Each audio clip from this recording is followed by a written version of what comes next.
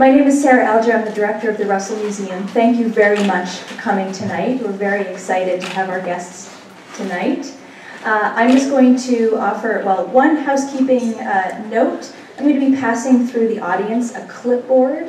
If you would like to sign up for our mailing list, uh, email list, so you can keep up with other lectures and other events that we're doing here, feel free to do so. And with that, I'd like to, uh, to introduce our first our, our next introducer, I'll say. Uh, the co-sponsor of our lecture series this week is the Mass General Research Institute. And here to introduce tonight's speakers is Dr. Susan Slaugenhaupt. She's not only professor of neurology, but also the scientific director of the Research Institute. So please welcome Dr. Slaugenhaupt.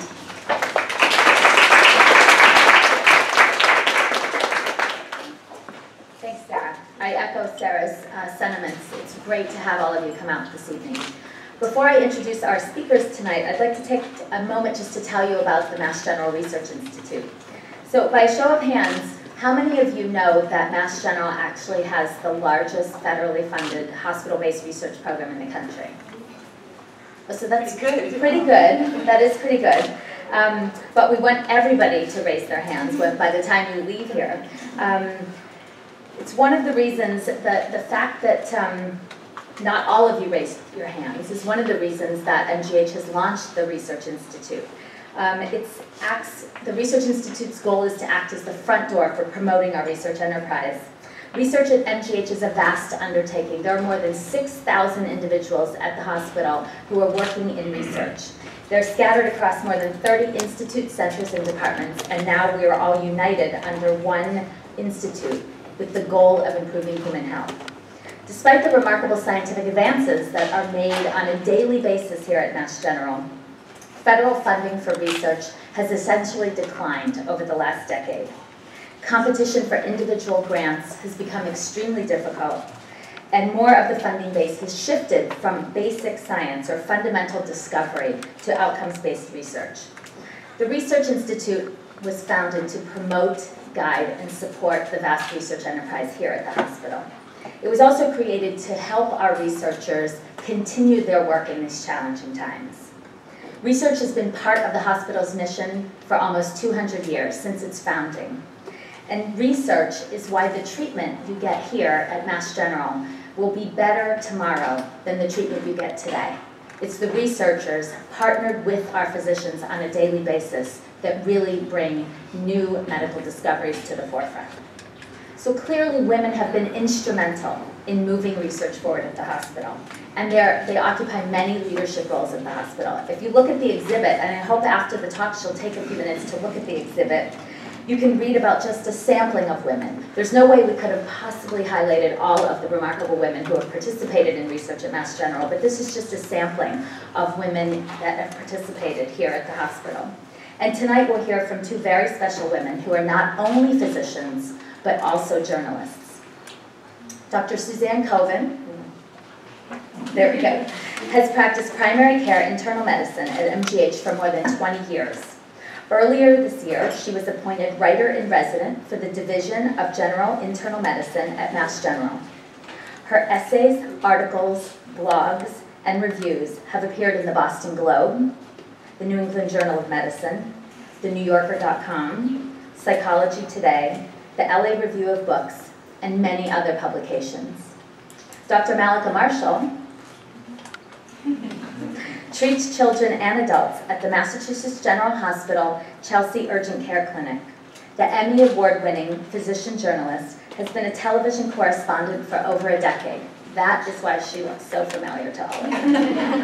In addition to recently serving as the medical contributor to Katie Couric's daytime talk show, Dr. Marshall has returned to WBZ News as the regular health reporter. Before that, she served as a regular medical contributor to the CBS Early Show, the CBS Evening News, New England Cable News.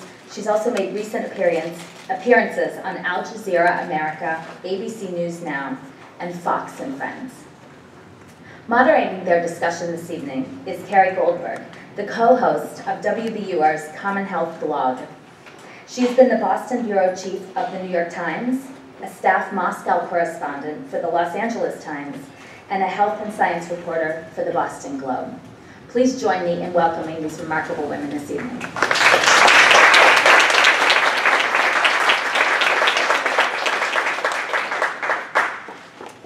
Thank you. Thanks so much for coming. And, woo, sorry. That's Mark. Um, and I am so looking forward to this conversation and just kind of letting our curly hair down. Told him I usually have much curlier hair, but Yeah. flat irons and curling irons do wonders. Um, so I'd like to start with a question that makes me sheepish because it's a sort of a stereotypical women's question. And I would like to say that I would ask Atul Gawande this same question.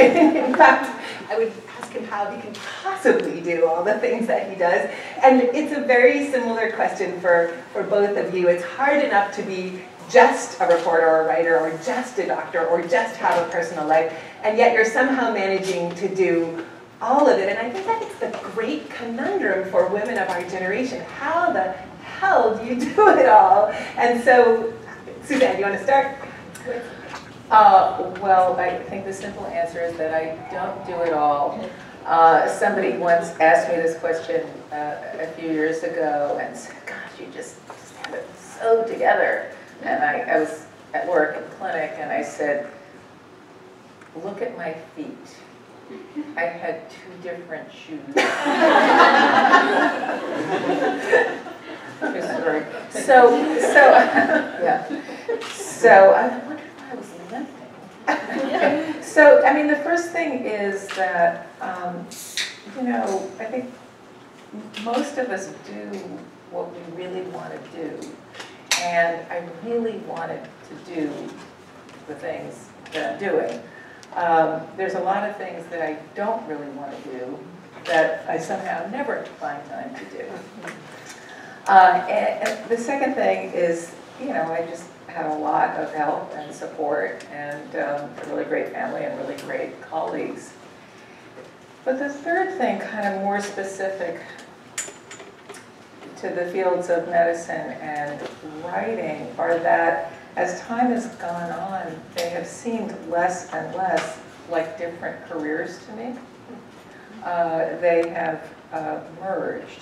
And so, you know, it doesn't feel like, you know, casting such a wide net. I no longer feel like I'm doing all those different things. I'm doing this one thing. And, and very conveniently, my children grew up. I was going to say, yeah. Happen. Eventually. Yeah. Eventually. Okay.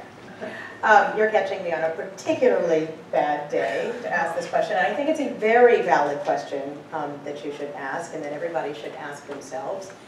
Because I think that women are in a unique position of really, really having to balance it all. I mean, I think about my husband, and I love my husband dearly, and he's been a great partner, and he's a great father. But he's not worried about getting his work done while trying to remember which play date your middle child had today and if you filled out the pink slip that goes with him to school and oh my son on the way here called to tell me he has two you know spelling tests on Wednesday and a math test on Thursday and he expects me to come home and help him study. Um, I'm also part of that squeeze generation, which is why I'm encouraged that at some point the kids do grow up because you know, I've got three young kids. I've got a six-year-old, an eight-year-old, and a ten-year-old, um, and they're all, you know, at that age, very needy, and they all want their mama. And daddy's kind of, you know, sloppy seconds if mommy's not around. Um, and I also have sick and aging parents. Um, I have a father right now who's critically ill um, at the Brigham. And um, so, you know, I'm, I, my phone's over there under my coat, and I'm, you know, is anybody texting me? Is the nurse trying to call me? I had to consent him for dialysis today.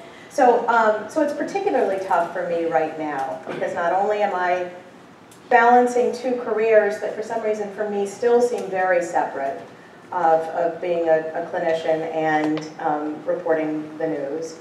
Um, but I also am a, mom that I take um, as a job very seriously. I'm, I'm a wife, I'm a daughter, and women have that unique burden, I'm sorry to say, that most men don't. Um, and it's particularly apropos that I am in the middle of working on a story that was spawned by research done here at Mass General, talking about why is it that women seem to suffer more from stress, stress-related illnesses, from anxiety and from panic disorder and from depression. And there is a physiological reason for it, and there seems to be a hormonal reason for it. So I think it sort of gives validation to the fact that we do try to do it all, and we don't always succeed, and I often forget that pink slip or forget to send lunch on Fridays with my kids. Um, but like you said, they're all things I really want to do, and I want to be involved, and I don't want my kids to turn to someone else. I still want them to come to me, and I want to do a really good job at, um, at both of my careers. Um, so it's a struggle, and right now I'm, you know, I, I, talk about an apple cart. Some people talk about the, the duck with the feet that are paddling so quickly underwater, and it looks like the duck is, you know, moving smoothly along, but underneath the feet are rapidly going. But for me, I talk about a perfectly balanced apple cart. That I have all these apples in my cart, and if like one apple is pulled out or one apple is added, they all kind of tumble down. Um, and so I kind of feel like I'm almost about to tumble right now, but still holding it together. And I think the, the other thing to be said is that, um, and I'm sure you feel the same way, is that, you know, it's an incredible privilege to have this problem.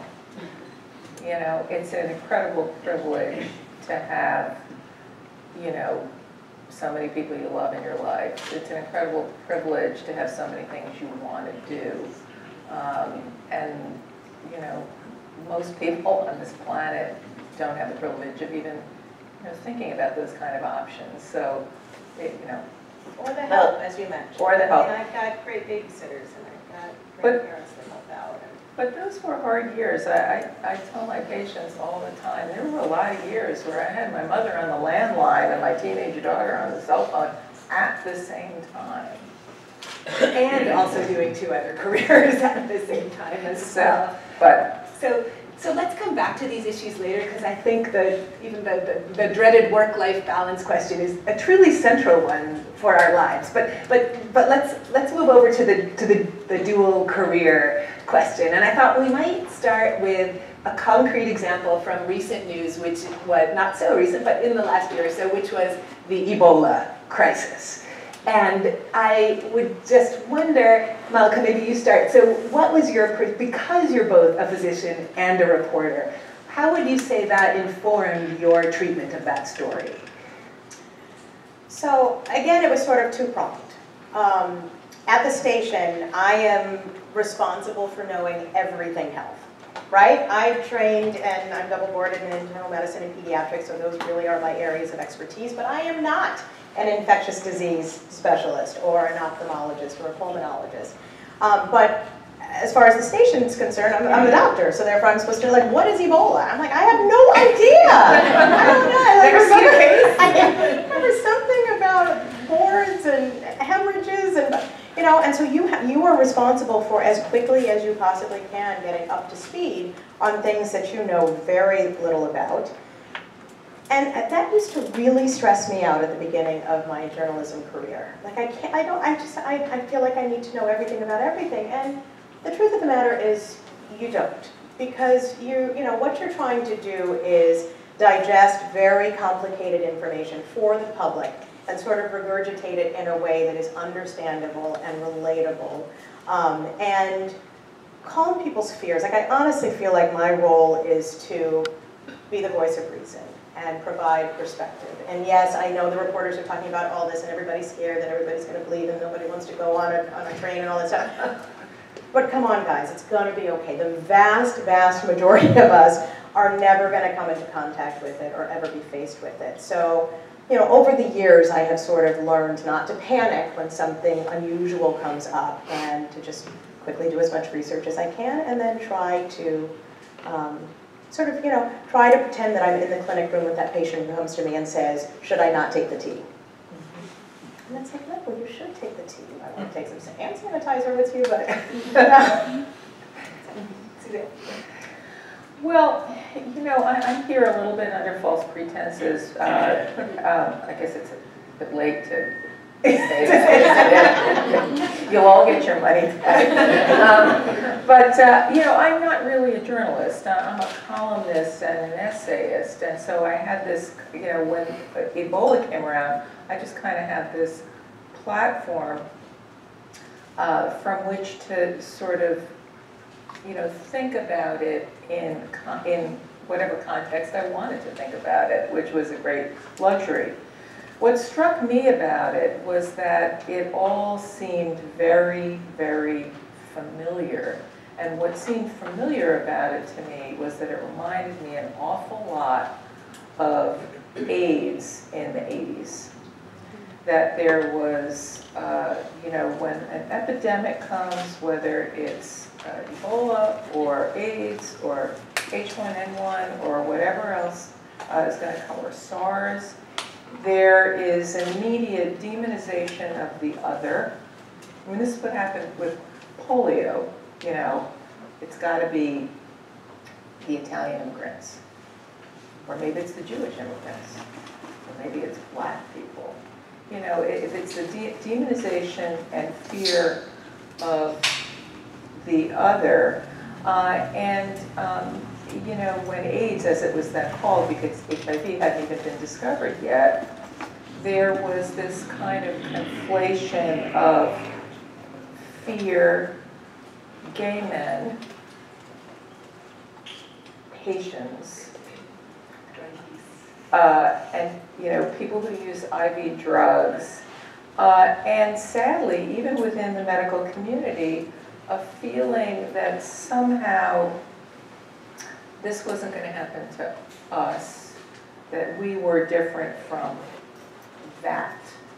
Uh, and I just got very interested in that. I got very interested in, um, you know, some of the press around Ebola. And if, you remember, there was a, a lot with the, um, you know, sort of uh, that doctor who had Ebola and then he went bowling in Brooklyn. And, you remember that? And, uh, and then a couple of years before that with H1N1, the people walking around the street in masks and it's probably the Mexican immigrants and, you know, all of this script, which is a very, very old script. I mean, if you read Camus' The Plague, it's the same script. Um, if you read um, Hippocrates, it's the same uh, script. So I got very interested in all of that, and um, and um, and I wrote about it based on my memory of a very particular story. Um, you know, what, what Mallika does is also very story-driven, uh, but in a different way. Anyway, so that story that I remembered, which was of a doctor who got AIDS and was, uh, became a pariah, contracted AIDS in the hospital, became a pariah, uh, became this sort of entry point to think about all of this stuff. So very different approaches. So let's back all the way up to career path. Did you start out, Suzanne, maybe you take this one first. Did you both start out knowing you wanted to be doctors and then only later come to writing or reporting, or did you know from the get-go that you wanted to do both? And, and, and does the writing and reporting uh, serve to help you through the medicine somehow? Um, well, um, I told this story, believe it or not, at Harvard Medical School, so I guess the, the cat's out of the bag. Um, I was an English major in college. I, I uh, started and dropped intro chemistry three times, you know, right before that deadline. Uh, and I had myself pegged as an English major kind of person who really wanted to be a doctor, but that was an impossibility. And then finally, I, I sort of got it together uh, to go to medical school. And um, the truth of the matter is, um, I'm not, fundamentally not all that interested in science or even in medicine. What are you interested in? What I'm interested, have I got your attention? Did that? The flair for the dramatic. What I'm interested in is stories. That's what I'm interested in. That's what I was interested in when I was reading Victorian novels as an English major, and that's what I'm still interested in. You know, I mean, it's a very strange job I have. Think about it. You know, I, I meet people and um, shake hands and I ask them to tell me all their secrets. And then they do. And then they take their clothes off. It's a, I mean, it's a, I mean, right? I mean, it's a, it's a, it's a very intimate thing. And, and, and, and it's a deeply human thing. And I, I, you know, what I felt over time is that I still insist that what I learned in college reading novels has, has served me much better as a primary care doctor than what I learned when I finally did take intro chemistry, which I, I don't even know what it is, let alone remember any of it. And, and I don't need it. So um, luckily for me, as time went on, I know, Nick, don't go home and say, that doctor said she doesn't care about medicine. yeah. As, as time has gone, gone on, I've been very fortunate that there's been this movement in medicine toward uh, medical humanities and narrative medicine and, you know, our division in our hospital now has a writer in residence. We have a monthly uh, you know, book discussion group for doctors, nurses, and administrators. Who would have ever thought such a thing? Uh, so it's, it's been a real coming together. Believe me, when I took the MCATs, this is not what I planned. well, and the growing recognition that bedside manner is so important and that um, patient satisfaction so depends on the human relationship, right? even more. Right. I mean, uh, you know, a story that I've told many times, but I think is worth repeating, is there's a there's a course at Harvard Medical School that takes place right before the students start. It's called um, ITP, Introduction to the Profession. And one of the assignments, these, I mean, these students are new, you know, as new as can be. And they go to patients' bedsides and they are told they can ask anything. But what they have to ask is, what advice would you give me as I enter this profession? And of course, what they're quaking in their boots about is that they won't know enough. Or they won't be competent enough. They won't know enough stuff. They won't know how to do enough stuff. But that's never what the patients say they want from them. What the patients say 100% of the time, not 99, 100% of the time is, I want you to listen to me. And so, you know, that's a, that's a, a powerful skill. It's not, you know, joking aside, the chemistry, the physiology, all of that is very important. But, but the listening, um, the paying attention, that's also very important. And, you know, there's now recognition that humanities can offer that. And does writing make you a better listener? I think it does. Uh, I, I, you know, I, I think it does. I'm, you know, writing is about paying attention. It's about trying to figure out the right word, how to say something in the way you really mean it, how to convey. And um, I think just as most people will say becoming a writer makes you a better reader, I think it has made me a better listener. I mean, that sounds so like pretentious and boastful, but I, you know, I, I really do think it, it has. I will say this, and I could say this without feeling pretentious and boastful. It's renewed my joy in medicine. I am not a burned out primary care doctor. And it's I because you should, write I your should way be, out. I should be in a museum. Yeah. Yeah, I, it's, it's, it, it's brought the joy of medicine back to me. I said I wasn't interested, I didn't say I didn't enjoy it. Mallika, talk about your path. Um, my path was really not wanting to do anything my parents wanted me to do. Again, not for the love of medicine, but because my mother was a journalist um, and on television, and when you're the daughter of someone who's on television, which I'm quickly learning from my six-year-old, you don't care that your mother's on television. Like, who cares? I mean, I got to go to some cool places, but you know, for me, it was like her job. Um, and when she traveled, um, she was on, you know, this vice presidential campaign, and she was traveling here with the president or whatever. And it's like, good, go. It means I don't have to make my bed, I don't have to brush my teeth. My father never made me do anything. Brussels sprouts. Um, and so when it came time to sort of decide, okay, what are you going to do with your life? Like I was like, well, I don't want to do what my mom does. That looks awful. And I don't want to do what my dad wants me to do. Like his dream was for me to go to MIT and be an, an engineer or a physicist. And I was like, that's not going to happen. Um, lawyers seemed like they had to do a lot of reading of very tedious texts, and I just was not into that. So I was like, doctor, right? Um, at the same time, my grandparents were becoming ill, sort of in those formative years for me, like, you know, 15, 16, 17. And so three out of four of them had prolonged illnesses in hospitals, and my parents took me um, to see them and exposed me to all of that. And, you know, I was there when we turned off life support with my grandmother. And so I think it sort of made me feel comfortable with the whole idea of being, um, being in a hospital and seeing how the way that people took care of my grandparents. And so I, you know, I think it's a combination. My mother still say it's the doctor kit when I got when I was four.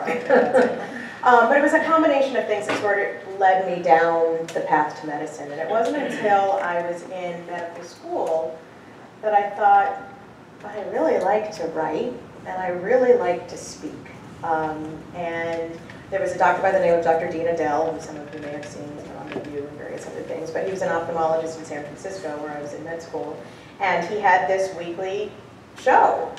And he would talk about things related to hearts and, and things related to gynecology, but he was an eye doctor. And I thought, what's this eye doctor doing talking about all these things? Like, eye is very different from like the, you know. um, but it sort of sparked an interest. Like if, and he spoke so eloquently and so authoritatively about all these things. And I thought, well, I want to do that. That's what I want to do. And so I decided, even though my love was for pediatrics and kids, that I want to do that. Like, I don't know if I feel comfortable just doing kids and talking about coronary disease. So, okay, fine, I'll do adult medicine too. And um, it just so happened that Harvard um, had a really cool combined program at, at Mass General, Brigham, and Children's. And so that's what I did. Um, and you know, I was here for four years, and when you're in residency, you can't think of anything else other than your next meal and when you're going to be able to sleep. Um, but I befriended a nurse, and this is the story I always tell these, you know, these medical students, these newbies, whatever you do, you always be kind to the people you work with, especially the nurses. And so I had learned that lesson early on. And so one of the nurses that I worked with, her husband was an editor at the Globe, and he golfed with the head of Channel 4, and so my, you know, my interest in journalism got passed on unbeknownst to me to this guy on the golf course, and so I got a, got a call at the Brigham ICU when I was on call, and they said we're looking for a, a doctor to report our health news. So that's sort of how I, strangely and serendipitously, ended up um, in this career. But in terms of, you know, you're, you, I think you're right. Like I think when it comes to being a good doctor, it's not how much medicine you know. It's not the chemistry or the physiology that you took in in, in um, medical school. It's, it's the compassion. And I don't think everybody is necessarily well suited to be a physician. They can be incredibly brainy and know about all of everything out there in terms of medicine, but unless you can connect with a patient, as you were speaking about, um, I don't think you're a very effective doctor. And it wasn't until I became a patient, um, I went through seven rounds of um, in vitro fertilization to have my three kids. Actually, two of them, the other one just kind of spontaneously appeared. Um, but, but it was hard. I mean, it's a horrible thing to go through for anybody out there who has. Um, and all of a sudden, the doctor became the patient, and I realized what was important to patients. Again, not that the cycle worked or didn't work. It was the call that said, once again, that I wasn't pregnant. How kind and lovely was that person and supportive. Um, and now, again, with, you know, sick parents, you know, I was talking to a bunch of doctors yesterday about my father. and it wasn't the attendings in renal and rheumatology and all the people who had all the knowledge about the different body systems. It was the second year medicine resident who was so kind and so compassionate. And when I started to tear up, she started to tear up. And I told her, I said, you are going to make an amazing doctor one year. I don't care how much you know. Like you're listening to me, you hear me. Um, so I would say that being a medical journalist um, has in some ways made me a better doctor because it has forced me to take very complicated medical language and boil it down to a 30 second soundbite, which I think has served me well in a clinic room with a patient because I do urgent care, so I literally have 10 or 15 minutes to examine a patient, diagnose a patient, treat a patient, and explain what they should do if they get sicker. Um, but I also think that being a doctor has way more benefited me as a journalist, um, and being a patient and being a mom um, those things have sort of shaped me into what I think is a, a, a, better doctor than I was 15 years ago when I thought I knew everything and knew all the latest studies and just passed my boards. I didn't know diddly back then. but I, I, I want to emphasize that it's, um, it's, it's not as though um, being compassionate and knowing things are at odds with each other. Right, and in fact, you do want your doctor to know. Yeah. At least know where to find Yeah. the Yes. information. Well, right, I mean, it's not like if you, you know, if you've got a smiley face, you don't need to know anything. I mean, but uh, I think what is underestimated is the extent to which um, really, uh, really hearing a story is diagnostically and therapeutically valuable. These things are not, I tell the medical students, this isn't like, you know, like fuzzy after-school special stuff. And they look at me and they say, what? Because they don't know what an after-school special is. well, frame of reference checks. Yeah, yeah. Uh, you know, this is not like sort of extracurricular whipped cream. This is, is really part of the process. And so I don't want to leave the impression as I'm sure Mallika is, and that, you know, just go to a doctor who doesn't know anything, as long as they're nice, it'll all work out. It's, it's, it's underestimated how powerfully those two things sync. Well, of course, we're also lucky to live in an area where any doctor you go to is going to have the, the education and, and the knowledge. I mean, look where we are. Um, so that sort of is a given for most of the institutions where you're going to be looking for a doctor in the Boston area. But I think having that ability to personally connect with people is something you can't always teach, and I think is really fundamental to being a, a good physician. Um, I just want to say a word about the format, so I'll ask probably a couple, three more questions, and then you might want to start thinking of your own questions. There will be um, 15 or 20 minutes to, to ask questions and have a more general conversation. So I had, the first question that came to my mind actually when I thought about this panel was, um, the, the imperative to do no harm, which you naturally have a, as a physician, but which can be um, a very daunting thing as a reporter or writer because you're sending what you do out to the general public and you can't control how it lands the same way that you can keep an eye on a patient. So can, can you address that at all? Mallika, maybe start. Um, what do you worry about in terms of potential harms as you do your reporting? I mean, you definitely worry that someone's going to take what you say as the word of God and go and change their lives in a fundamental way that could be harmful.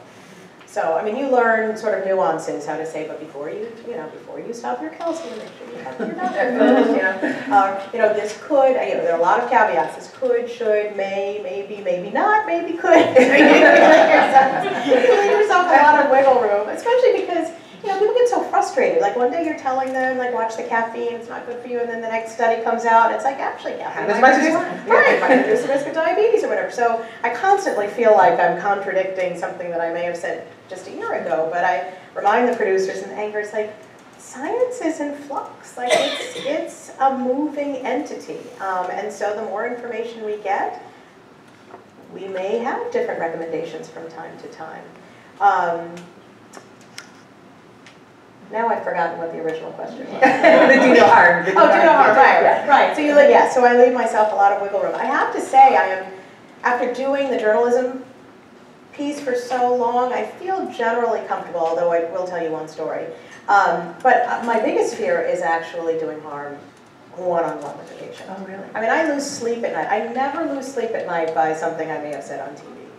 Um, but if I've seen a patient, like, oh gosh, I'm really worried, like, I don't know if what I did for them was okay. Like, I will be up at two o'clock in the morning, worried, sick about whether I have mismanaged or mishandled someone, because you feel ultimately responsible for that one individual, whereas when you're on TV, it just kind of goes out there into the ether, and now it lives forever on the internet. Yeah. It used to be the case. My, my producer used to say, Natalie, don't worry. It's like, poof, gone. It's, well, it's now, it's, it's never gone. Uh, but the one, the one time I did get in trouble, um, which could have been somewhat catastrophic, was a piece we were doing years ago when there was still maybe some question about the relationship of the measles vaccine and autism, okay? This was, again, 14 years ago. And that Lancet article was The still Wakefield living and breathing that has soon, since been, you know, found to be false, but that was, there was always that study that people would refer back to. And so we were doing a piece on how important the MMR vaccine was, and I was working with a producer who I didn't realize was sort of an anti-vaccine um, person, and, and she was a friend of mine, and, and she's a good person, but we obviously differ on that. Um, and so we had put together a piece that I thought was a responsible piece. And after I had tracked it, which meant I went to the recording studio and recorded my voice, and I thought everything was said and done, they went back and edited it because they had to shorten it for time. And so they took out key pieces, pictures of kids with measles, important pieces that talked about how devastating measles could be um, in rare cases. And it changed the tenor of the piece, and it aired without me seeing it. And I got a call from a doctor at Children's Hospital who was like, what the heck have you done? And I'm like, what are you talking about? And I went back, and I, I mean, I cried for days um, because I was mortified by what if what I had done had convinced people out there not to get their kids vaccinated. Um, so I have since learned to always See the make final sure I cut, see the yeah. final product. And now I don't even have a producer, I write my own stuff, so I know that, you know, the buck stops with me. But that was a very important lesson to learn, that it, you, you could do something that could mislead people and could lead to, you know, death and destruction down the road. Um, you know, mine uh, is a little different because I'm usually not sort of, um, you know, disseminating what's called news you can use, you know, you know, sort of factual information that people are using to educate themselves about health. It's more sort of perspective. But what I worry about is this. Um, you know, uh, uh, my stuff tends to be very personal and very anecdotal, um, deliberately so. Um, and yet, you know, we live in an age where there are a lot of bad anecdotes. Yeah. Like, for example, we have a, uh, a presidential candidate of a major party who knows a child who Who may who, who, you know, who, you know, so you can say something like, well, I met somebody who got autism from the measles vaccine, and you say that in a public forum, and, you know, somehow that N of one, if it even was a one, you know, so, so I sometimes worry that the anecdote could be interpreted as uh, being meant to be too representative. The other thing, of course, I worry about is I tell stories from my practice. Yeah, how do you handle that? Um, I always ask permission. I, I would never want any, and even if I use a pseudonym, I never want somebody to see their story um, in a publication without their permission. Um, You know, one time I, I wrote uh, a piece in the New England Journal of Medicine, which I felt quite certain this particular patient did read on a regular basis. Uh, And I, I changed her name, and I changed her details, I changed everything about it. So much so that I thought, well, just this once, I won't. And just to reality, Ask. to ask. Yeah. Just to reality check it, I said to my husband, you know, and she's never gonna read it, she's gonna, I changed the details, I did it. And he said, well, you're asking, therefore, You're not sure. you have to, right? If you're asking, you have to. I wrote down her phone number and I put it on a little piece of paper and I carried it around in my pocket for about two weeks.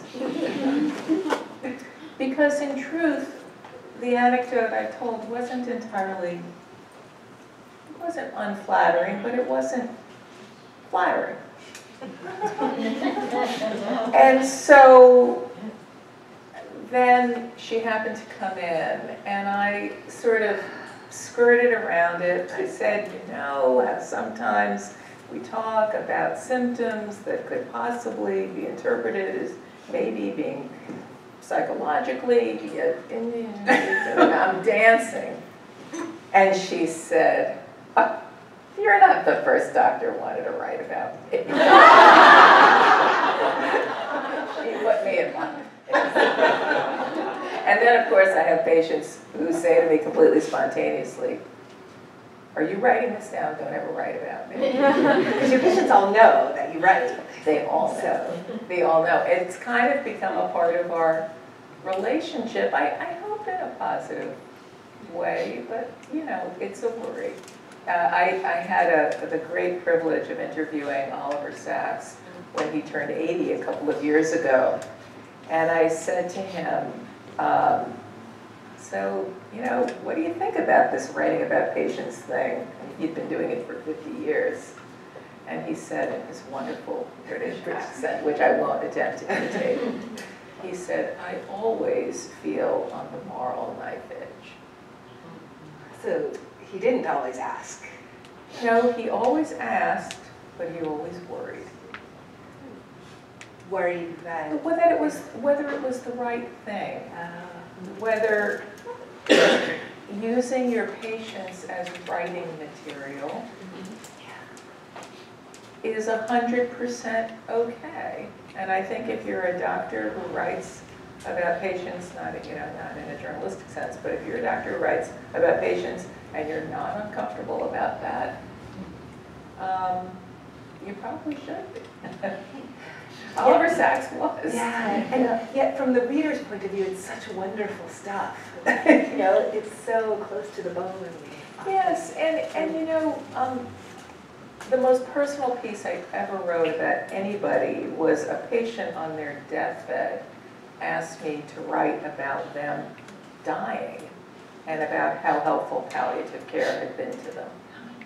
The first sentence of this column was, Janice is dying. And she was very gratified by the emails that came in about people who responded to her story.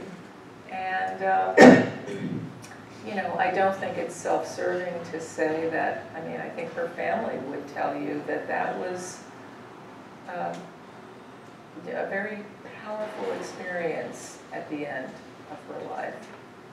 So you can actually heal by writing too, sometimes. Help, by writing. Well, that, I mean, that, that's a, a, a very well-established thing for the writer themselves, but also, you know, reading and writing are very therapeutic. All kinds of crazy studies about this. Asthmatics who journal about their asthma have fewer asthma attacks. Really? Okay, so I can ask a couple more questions if you need more time to think, or does anybody have a question already? Yes, and then. I'd I'd love to hear about your book group and what books you're reading. Can you hear the question in the back, your book group and the books you're reading? Was that for Suzanne? Yes, please. Okay. Oh, is this a plant? This. Um, okay, so, uh, I've been running this group, group here for about eight years, and it gets crazier and crazier. Because here's what we've sort of figured out, is that if you limit it only to books about medicine, literature about medicine, you know, you trot out the same things everybody's reading, you know, they're great books, but you trot out the same things. If you just bring out great literature, it's speaking to something deeply human, and therefore it, it sparks, you know, conversations that, you know, people who work in the hospital are very tuned into. So last week, we talked about Thomas Mann's Death in Venice. And as I've told people, if you haven't read difficult German fiction over cold pizza in a hospital cafeteria, you haven't lived. So much of that, the last scene, know, the old man is rouging his cheeks and dyeing his hair and, and, you know, trying to be what he isn't. And it got into a whole big discussion about plastic surgery and about age and youth, and it was just absolutely wonderful. The time before that, and I won't, I won't go back all the way to eight years, but I, I could. Uh, we talked about um, uh, some uh, work by Claudia Rankine and uh, uh, Ta-Nehisi Coates uh, and James Baldwin, and we talked about racism in medicine. There is something about literature that provides this really safe space in which to have really hard conversations. Works every time. It's like it's like a card trick. It's, it's quite amazing. But thanks for asking. You should write those scenes. you should write some of the book club scenes. That would be cool. And am doing. And, yeah. So in the back there, and then you. Um, so there's, you know, infinite subjects you could write about, and, uh, you know, in, in terms of public health, there's diabetes and obesity and opiates and so forth, but I'm wondering, uh, two things. One, how do you choose? And do you have any intention or, or have you written about firearms? Is that for both doctors? Yeah. Um, Both. take a turn. I'm like Suzanne, I'm sort of at the mercy of the producers and the, the television station. I mean, I do some of my own writing on the side, but in terms of what, what types of things I report on television, um, you know, TV is very ratings driven. So, um, you know, you really, in order to get the producers to sign on to an idea, you have to make a compelling case that eyeballs are gonna wanna tune in to see it. Excuse me. Um, so I remember years ago, like anything having to do with sex, alcohol, um, uh, anything, Mallika will do it. You can find anything involving sex and alcohol and maybe the combination, we're on, we're on board, right? Um, so it was a lot harder to get people to let me talk about Alzheimer's and Parkinson's and, um, so it's a balancing act. People always say, do you pick your stories or? What I do is I come to the morning meeting every morning with a list of stories, some that I, I'm sure that they're gonna like, others that I want them to hear about and consider. And, you know, sometimes I get some of those stories reported, but I certainly have, you know, more supervision than Suzanne does and less freedom. So uh, I have no supervision. so, Clearly. Um, So when I, I I was in a a wonderful uh, position writing uh, the monthly Globe column, I could write about anything I wanted. And people said, month after month, how do you think of a new topic? It was very easy. I thought about something that made me really uncomfortable and I wrote about that. So here's an example. Um, uh, a medical assistant handed me an opiate prescription on one of my patients who has chronic pain. And as, you know, in the privacy of my office, and as I was signing it, I was like, ugh. And then I said to myself, what's that about? What, what's uh about relieving somebody's pain? And so I wrote about my attitudes toward narcotic prescriptions, physicians' attitudes towards narcotic prescriptions, uh, and so forth. You asked about writing about gun control. I have waded into those waters. Um, uh, it earned me a spot on a, um, a conservative website where um, I was called a um, fembot libtard who don't know jack about firearms. You should get the t-shirt. A fembot. Libtard. Libtard. Who don't know jack about firearms. And, and also, uh, and also uh, a death threat from someone from South Dakota who phoned our office and said what she was planning to do when she drove across the country, and which she didn't. Um, But, uh, you know, that, uh, this may have been a- another question that's going to come up, but it's really tough um, because the the truth of the matter is, um, the big issues in medicine today are social and political issues. You know, it's not like the good old days where you could invent penicillin and, you know, and, and everybody was better, you know, figure out how to do an appendectomy and have the patient live and, you know, um, write about that. But I mean, what are the big issues in medicine today? Obesity, addiction, poverty, gun violence. Um, I mean, if you're looking what, at what people are suffering from and dying from, their thing, smoking, not so much anymore, but smoking.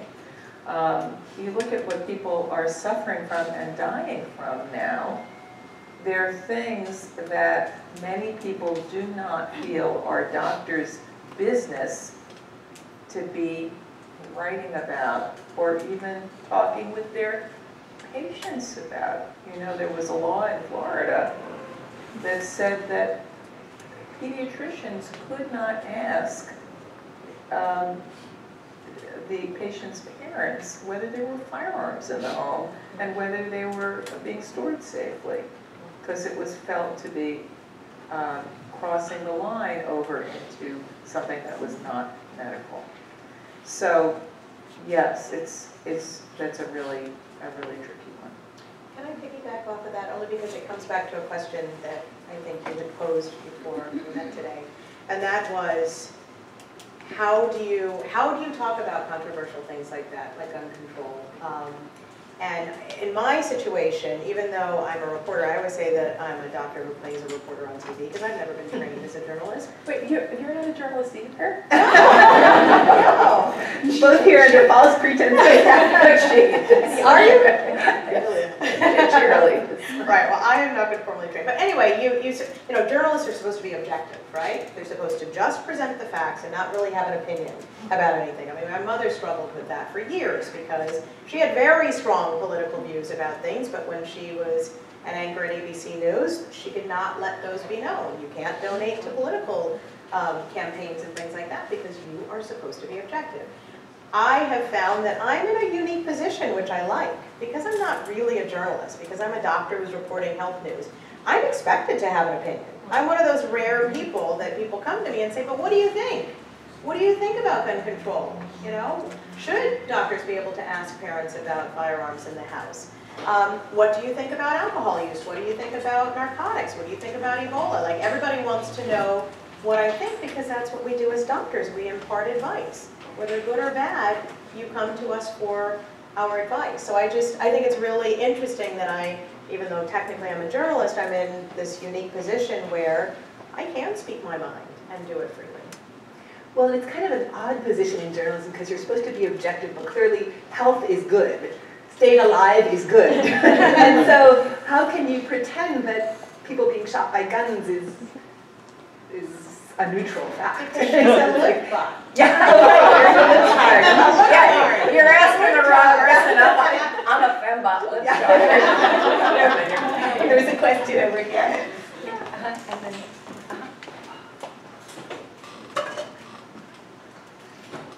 Uh, So, I think Dr. Marshall mentioned this briefly about how, uh, you know, doctors on the news can give good or bad advice. So I was wondering um, how you navigate those boundaries. When do you put your foot down and say no to your producers? Like, that is not a segment I can't do. I'm thinking a lot about, like, Dr. Oz, for example. Let's get Dr. Oz. Yeah, I feel Dr. Oz. I mean, it's not even that, but like, you know, there's so many doctors on the news, and some are held more accountable than others, and each person has their own kind of like level of like accountability that they hold themselves to. And so, how do you negotiate that? And really, I would like you to comment on Dr. Oz. I was just gonna say, I don't like disparaging other on-air doctors. Dr. Oz is in a whole other category of his own, I think. Um, and, you know, I, I personally feel as though I have a responsibility to viewers to give credible advice, to give advice that is founded in science, where it is evidence-based, where we have experience, and I can say studies have shown this, that, and the other thing. I don't go out there and tout, you know, Raspberry ketones. raspberry ketones or quinoa or whatever. I like quinoa.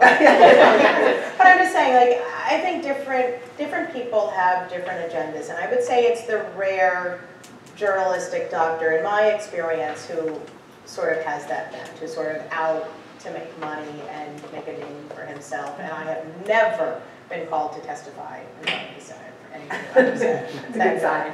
Um, and I hold my reputation, my reputation is so important to me. So it is very important that I'm not out there touting a particular treatment or supporting a particular drugstore chain or a, you know, a drug company or, you know, even when I talk about Tylenol, I make sure I say acetaminophen, also commonly known as Tylenol. You know, because you don't want to give that impression that you are being bought by anyone or you're getting payments from anyone, because some people are. And um, I personally think it is bad medicine and it's irresponsible and it's immoral. But without naming any names, It's a I think it's a generic. shame.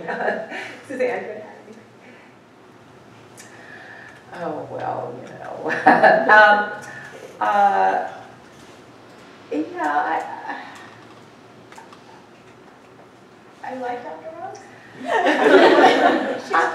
Yeah, no, I'm not torn at all. It's just, it's, I think where it comes up for me isn't so much in my writing work. It comes up for me in the office. When patients come in, you know, with the, you know, goji berries, and they come in and they tell me they want to get all their fillings pulled out. Really? Yeah, because of the mercury.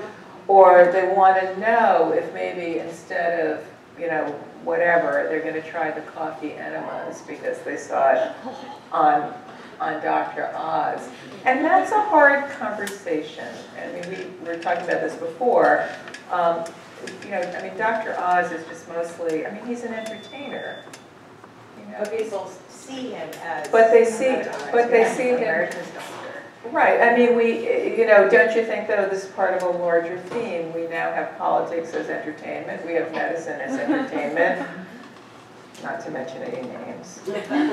Um, But, uh, you There know, you go with your lip butt. I,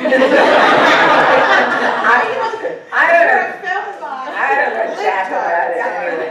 But, you know, it's hard because if you say to somebody, you know, what you read about goji, you know, you, you saw goji berries on Dr. Oz and you went out and bought them, like how stupid is that? Well, this does not further the therapeutic. Because, you know, when somebody, you know, buys some potion that they've seen on TV, they may, you know, they may be. could get a placebo effect. It could, they could get a placebo effect, but they're looking for something. You know, it's, it's coming out of an honest need and desire that's being met by a huckster. And that's, you know, talk about old themes. I mean, that's as old as time, you know. We had, used to have snake oil salesmen.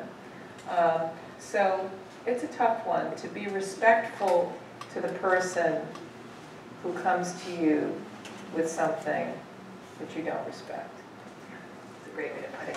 But it's So- also really important, I think, for me to maintain the respect of my colleagues. And it sounds like Dr. Oz has lost respect from Yeah. his colleagues at Columbia, but, but I, I always think to myself, again, when that children's hospital doctor, you know, reached out and said, what do you, you know, what do you, like, I always keep that in the back of my mind, like, would my colleagues What give the they same advice, what would they say, you know? And and that's a really good gauge as to whether you're going in the right direction or not. But I still will vote for So that's okay, so maybe she would try to huff goji berries. Only indirect. Your eyes is like Oprah's creation. That's amazing. And so Dr. Phil, we didn't talk about Dr. Phil. Yeah. Go ahead. We could go on and on, actually, but unfortunately, we only have time for one more question. Yeah, it went really fast. Uh, yes, uh, go ahead, Um, You know, medicine in some ways provides a shield behind the white coat. We're able to manage to sort of separate your professional self very well, you know, in, in front of the patient. Journalism seems so much more vulnerable. You put in your opinions out there. Um, so in this age of branded self, how do you balance your public image and everything that's out there that stays out there forever these days with coming back and living with a family or having that interpersonal relationship with your patient?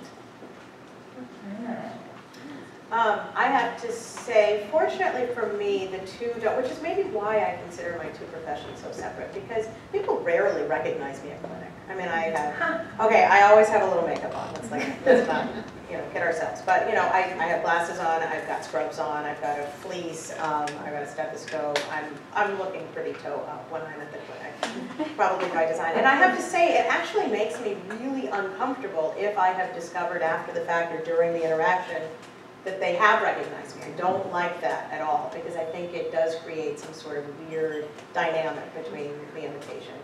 Um, But fortunately, I practice in an area where I think very few people are watching, you know, WBZ at five o'clock. Um, So I've been able to keep that separation nicely, and I like So you're kind of incognito. I am as totally practice. incognito. And when someone, I'm like, you recognize this? Like, seriously? Well, for me, it's a little different because, you know, my, my, you know, thing isn't visual. You know, I'm like, have a great face for radio is uh, You know, um, but um, a lot of my patients read my stuff and, um, you know, somehow, as I say, you know, as said at the beginning, the separations of the various persona, maybe, maybe I've just sort of run out of energy after all these years to keep them separate. When I was a young doctor, it was very important to me to wear a white coat and for my patients never to call me by my first name uh, and to not reveal any information uh, about my personal life to my patients.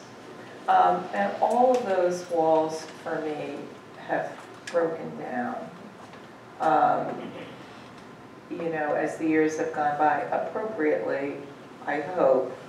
But in any given patient interaction, again, appropriately, um, you know, we might be talking about something the patient read that I wrote, and then of course they've got to see the pictures from my daughter's wedding. Because they asked. Not that I want to show them.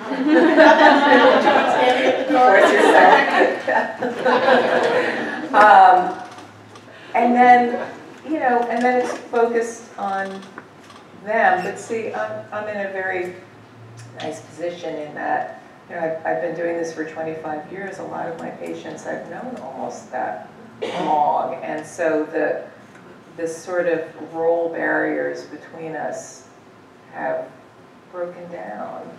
I mean, these wedding pictures, you know, they remember when that little girl was a baby. Um, so, you know, it's a great question, though. So, are you accepting new patients? That sounds great to me. Only only if you look at all of the. And There are 950. So if you didn't have a chance to ask your question, I'm really, really sorry. I don't know if these guys can, despite their busy schedules, stick around for just a few Oh, minutes sure. after, after we wrap. Um, And I just want to thank you both so much for coming and for sharing your lives, your work lives and your internal lives. Thank you. Thank you.